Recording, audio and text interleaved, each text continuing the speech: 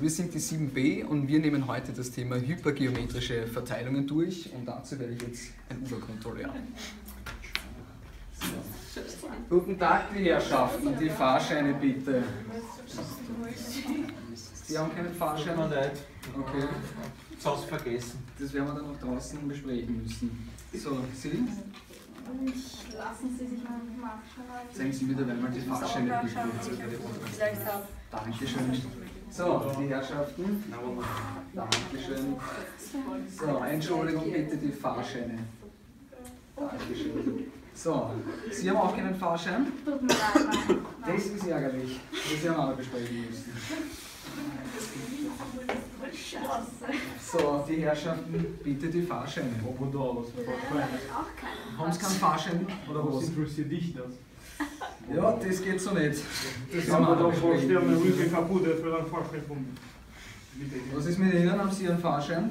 Das vergessen. Auch keinen Fahrschein, danke der Herr. Und Sie bitte? Dankeschön. Gut, Sie haben auch keinen? Nein, leider. Tja, also, wir haben jetzt an und für sich, das ist unsere Gruppe, acht Leute davon hatten, wie viele keinen Fahrschein? Zählt man nach. Tja, von diesen neun Leuten mittlerweile hatten drei Leute keinen Fahrschein und auch hier hatten wir zwei, die keinen Fahrschein hatten. Guten Tag, einmal die Fahrscheine bitte. Sie haben keinen Fahrschein? Leider. Das ist nur- Ich habe ich hab, ich hab, ich hab, ich hab zu Hause vergessen. Ja, die Ausreden, das ist nichts. Okay, Sie bitte schön. Ich suche noch. Ich Sie suchen noch. So, bitte aufhören zu reden. Die Fahrscheine. Dankeschön. Danke. Dankeschön. Sie haben auch keinen. Das ist ärgerlich. Na gut.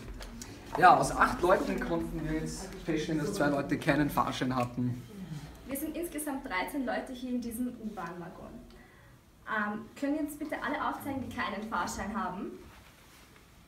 Ich auch. Okay. Also, es sind 13 Leute hier, fünf davon haben keinen Fahrschein. Der Kontrolleur hat jedoch nur acht Leute kontrolliert und zwei davon sind dabei gewesen, die schwarz gefahren sind. Ja, und bei der hypergeometrischen Verteilung geht es also um die Berechnung äh, der Wahrscheinlichkeit, dass genau ein gewisses Ereignis eintritt. So, nun bitte ich bitte alle Leute, die keinen Fahrschein hatten, auf die linke Seite der Wand sich zu stellen.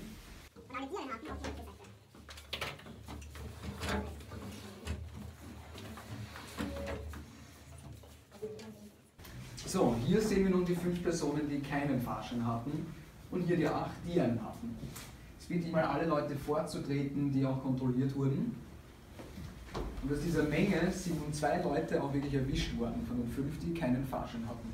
Von den acht Leuten, die einen hatten, wurden jedoch sechs erwischt. Die Frage ist nun, auf wie viele Arten ist das eigentlich möglich?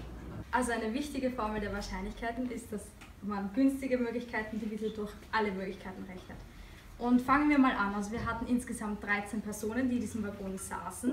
Also alle Personen waren um 13. Und davon wurden acht Personen kontrolliert. Also acht Personen. Und ähm, das wären sozusagen unsere alle Möglichkeiten. Da man eben 13 Personen hat, davon wurden acht kontrolliert. Aber wie viele waren jetzt Schwarzfahrer und wie viele waren nicht Schwarzfahrer? Das wären dann eben die günstigen. Und zwar die Schwarzfahrer waren es waren insgesamt fünf Schwarzfahrer im Zug. Und von diesen fünf Schwarzfahrern wurden zwei kontrolliert.